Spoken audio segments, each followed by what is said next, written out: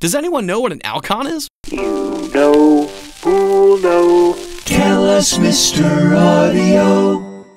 The term Alcon is an abbreviation for audio loss of consonants. And prior to computer acoustical modeling programs, it was the method most often employed to evaluate the acoustical accuracy of a venue.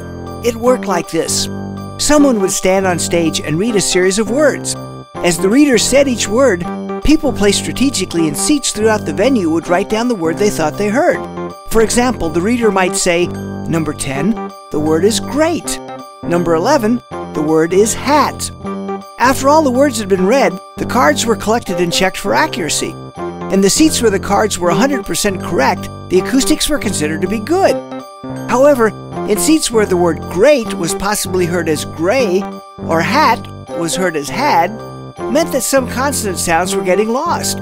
This is why the term audio loss of consonants is used, and proof that the acoustical issues in the seats that had Alcons needed to be addressed. Thanks, Mr. Audio.